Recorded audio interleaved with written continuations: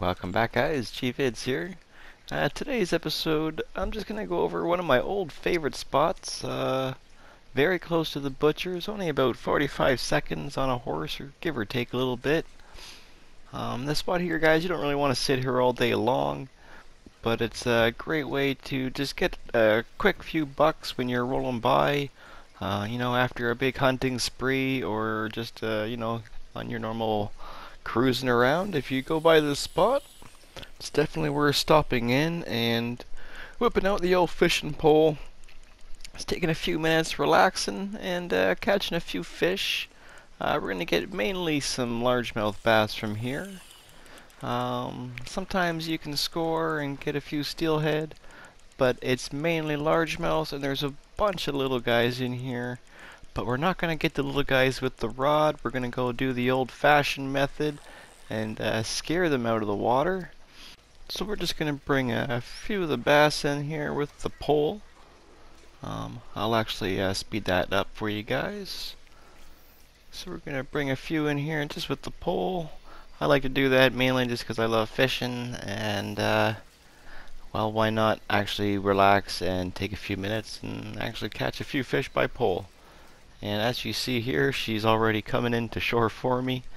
Uh, sometimes they do that, they just kind of beach themselves.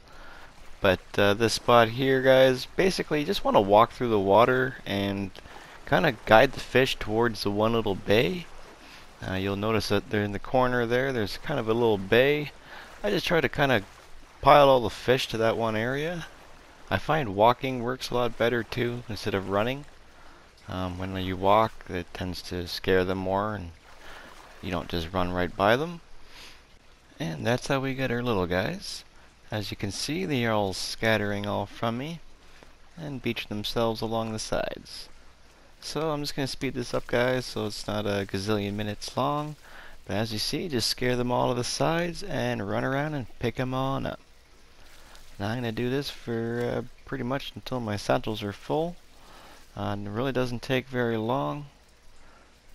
As you can see, it's just a non-stop pickup of fish. Uh, it's a great little spot. Uh, it's not like a huge money maker compared to a lot of the, some of the things that came around recently. But uh, I know a lot of those have been patched, so this is uh, not too bad of a spot, guys. If you want to give her a try, let me know what you think of it. But uh, I'm going to keep her short like always, I hope you guys enjoyed. Make sure you, if, uh, if you're full on your bass, you can kick those, by the way. But anyway, share, like, subscribe, guys, and I will catch you on the next one. Peace.